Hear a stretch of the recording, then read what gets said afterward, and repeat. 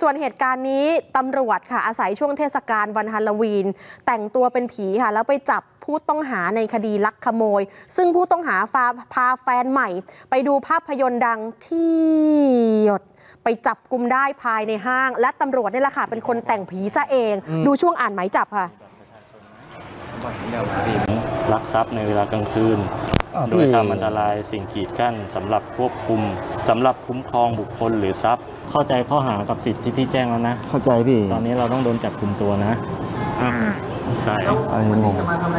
คือเราเราจะมาดูเรื่องอะไรนะที่หยุดครับพี่ที่หยดเหรอหลอนกว่าหนังที่หยดก็คือหมายจับและพร้อมกับตำรวจที่ใส่หน้ากากผีนี่แหละค่ะเอาที่อยู่ตรงนั้นตำรวจหมดเลยตำรวจหมดเลยค่ะ คือ คนก่อเหตุเนี่ยผู้ต้องหา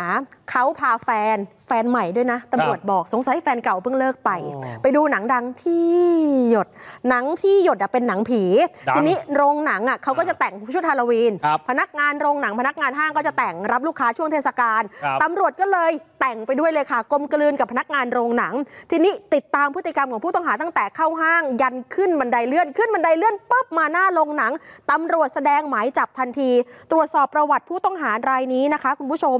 ล่าสุดคือโดนลักทรัพย์ใช่ไหมแต่ก่อนหน้านี้มีเรื่องคดียาเสพติด ขับรถในขณะเมาสุราเล่นการพนัน แต่ว่าคดีล่าสุดหัวขโมยรายนี้ค่ะเขาสมัครงานที่ร้านอาหารแห่งหนึ่ง ลาออกไปแต่ย้อนกลับมาใหม่ มาขโมยโน้ตบุ๊กขโมยคอมพิวเตอร์ที่ร้านไป เจ้าของร้านไปแจ้งความตำรวจก็เลยติดตามตัวนะคะ จนกระทั่งทราบว่ากำลังจะพาแฟนใหม่มาดูหนังที่